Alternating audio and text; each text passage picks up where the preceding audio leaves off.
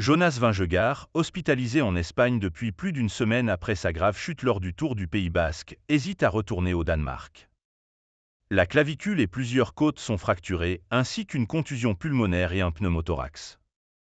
Jonas Vingegaard a été l'une des nombreuses victimes de la chute lors de la quatrième étape du Tour du Pays Basque disputée il y a une semaine. Le double vainqueur du Tour de France, étendu au sol au milieu d'un bloc de pierre, a été évacué par hélicoptère quelques minutes plus tard, en direction de l'hôpital le plus proche. Différents jours après l'accident, il hésite à partir.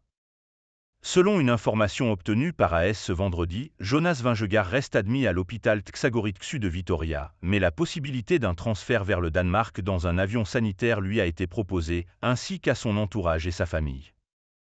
Selon le média espagnol, aucune décision n'a pour l'heure été prise. Le Danois hésite et réfléchit, même si la tendance à un départ vers son pays natal semble se confirmer.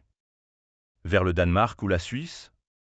D'autres options sont également possibles, explique le média spécialisé, comme par exemple de prendre la direction de la Suisse, pays de résidence de Vingegaard depuis son déménagement acté l'an dernier. Quant à l'état physique du coureur, il reste évidemment très fragile. Une participation au prochain Tour de France reste plus qu'incertaine, d'autant que le champion sait déjà qu'il ne sera pas remis pour la préparation du mois de mai. Hormis une communication datant de mardi dernier de la part de la Vismalisa Bike, les informations sont limitées au maximum dans l'entourage de Jonas Vingegaard. Même ses parents ont eu très peu accès aux dernières nouvelles, comme le confiait son père, Klaus, le même jour.